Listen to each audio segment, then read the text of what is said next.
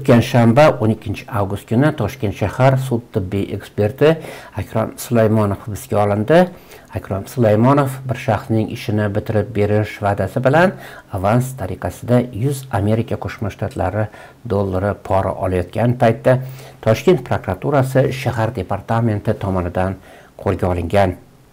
Ikki oycha muqaddam sanpidagi toshkent shahar sud tibbiyot ekspertizasiga qarashli morgda bir laborantka nargiz jalolova va alisher ismli ekspert o'lim haqidagi ma'lumotnomani olish uchun yuz ellik ming so'm pora talab qilgani ortidan jabrlanuvchi portalga murojaat qilgan edi.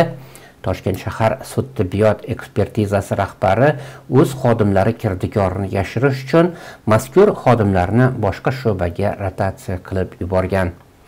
O'tgan yil oktyabrda davlat xavfsizlik xizmati va prokuratura departamenti xodimlari toshkent shahar sud tibbiyot ekspertizasi rahbari norjon sultonovaning o'zini ikki yarim ming dollar pora olayotgan paytda qo'lga olgan edi. Elto's mobil muxbiriga ko'ra norjon sultonova bilan birga yana olti nafar tibbiyot xodimi jumladan ayni muassasa hisobchisi tibbiyot komissiyasi boshlig'i va toshkent shahri yunusobod tumani bosh vrachi olib ketilgan. Nusxasi eltuzda bo'lgan toshkent shahar prokuraturasi tomonidan o'zbekiston sog'liqni saqlash vazirligiga yo'llangan taqdimnomaga ko'ra prokuratura nurjon sultonova ustidan jinoyat kodeksining 210 moddasi ikkinchi qismi v bandi bilan dastlabki tergov harakatlarini olib borgan. Ushbu taqdimnomaga yaqin kunlar ichida Iltuz alohida to'xtaladi.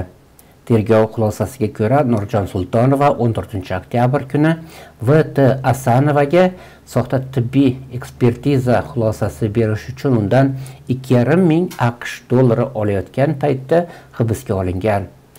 Davlat xavfsizlik xizmatiga yaqin hamkorlik qilishi bilan tanilgan va elyor g'aniyev odami ekanligini aytib maqtanib yuruvchi norjon sultonova bir kun o'tar o'tmas ozod etildi. Norjon sultonova hozir ham toshkent shahar sud tibbiyot ekspertizasi rahbari sifatida ish olib bormoqda. Ayni muassasada ishlovchi eltuz manbasining aytishicha norjon sultonova qilgan xarajatlarimni chiqarib olishim kerak. Shunga gazni bosinglar deya o'zining xos xodimlariga qo'rqmay pora olishga topshiriq bergan. Elto's o'zbekistonda avj olayotgan korrupsiya holatlarini yoritishda davom etadi. Ko'rsatuvlarimizga layk bosing kanalimizga obuna bo'lishni unutmang.